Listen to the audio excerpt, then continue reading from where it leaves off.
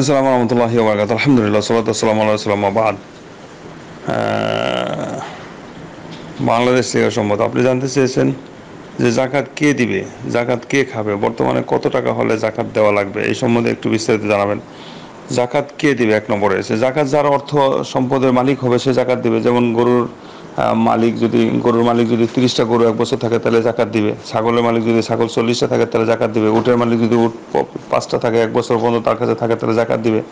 এমনিভাবে স্বর্ণর মালিক যদি তার কাছে নেশাব থাকে, স্বর্ণ সাড়ে সাত ভরি সাড়ে সাত ভরি স্বর্ণ যদি এক বছর থাকে, তাহলে জাকাত দিতে হবে, বা পঁচাশি গ্রাম স্বর্ণ। এমনি রূপা সাড়ে বাউন্ন তোলা হলে অথবা পাঁচশো, প্রায় নব্বই, অথবা উনানব্বই গ্রাম হলে বা অষ্টআশিও ধরেন।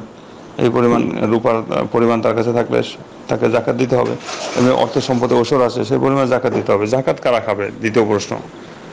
জাকাত, আর জাকাতের বিষয় একটা হলো, এই যে যে পরিমাণগুলো বা নেশাব এটা এক বছর পর্যন্ত যদি তার কাছে জমা থাকে। এখন সেই পরিমাণ সম্পদ সম্পদ যেগুলি উল্লেখ করা সেই পরিমাণ টাকা যদি থাকে, তাহলে জাকাত দিতে হবে। এমনি ব্যবসায়ী পণ্যের সম্পদ আছে, বাড়িঘর বাড়িঘরে অনেকে বাড়ি করে ব্যবসা করে, জায়গা জমির ব্যবসা করে, অনেকে টাকা ব্যাংকে রাখছে এখানে সেখানে। সেই পরিমাণ অর্থ সম্পদ টাকা থাকলে, যেমন সাড়ে সাত ভরি স্বর্ণর পরিমাণ টাকা যদি তার কাছে একটা বছর থাকে, অথবা রূপার পরিমাণে টাকা যদি তার কাছে একটা বছর মজুদ থাকে, তাহলে সেই পরিমাণ জাকাত দিতে হবে। শতকরা আড়াই টাকা পা জাকাত দিয়ে দিবে। কারা খাবে? এই সম্পর্কে জাকাত খাওয়ার হক ধরে হলো আট শ্রেণির ব্যক্তি। সুরত তওবার ষাট নম্বর আয়াত আল্লাহ উল্লেখ করছেন। ওখান থেকে অনুবাদটা দেখে নেবেন। আট শ্রেণির ব্যক্তি আল্লাহ রব্বুল আলম উল্লেখ করছেন। তার মধ্যে প্রথম দুই শ্রেণির ব্যক্তি হলো ফকির মিসকিন। ফকির মিসকিন প্রায় গরিব, নিঃস্ব যারা, দুই শ্রেণির ব্যক্তি। হ্যাঁ তো এই ফকির মিসকিন দুই, প্রথম দুই সিরিয়াল আছে, পরে আরও ছয় শ্রেণির ব্যক্তি আছে।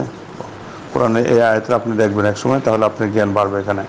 আল্লাহ আপনাকে তৌফিক দান করুন। আল্লাহ হাজ। সাল্লাহ নবীন। সালাম আলাইকুম বারাকাতুহ।